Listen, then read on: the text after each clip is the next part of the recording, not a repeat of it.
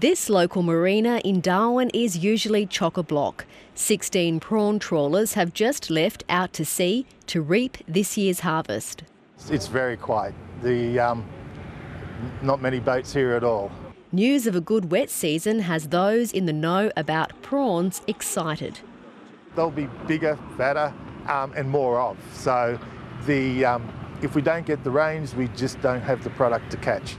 The Bureau of Meteorology is forecasting two key climate drivers to clash this year. A negative Indian Ocean dipole, together with another La Nina, could make this year's wet season extra soggy. But we can't guarantee it, but the chances of, it, of seeing wetter than average conditions does include all of the top end. And in fact, at this point in time, the outlook uh, out to October looks like it's pretty much all of the territory.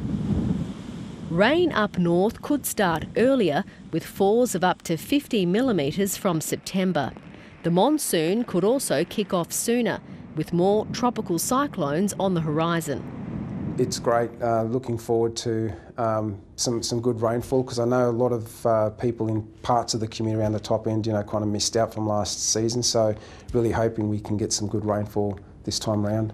As for this year's dry, it's not over yet, even though it might be feeling that way. What's basically causing this is a lack of a really strong high uh, moving across southern parts of the country. At the moment, we've got a really deep low over the Southern Ocean, uh, causing mayhem for southern parts of the continent. Hanging out to ride the next big high before the deluge. Eleni Roussos, ABC News.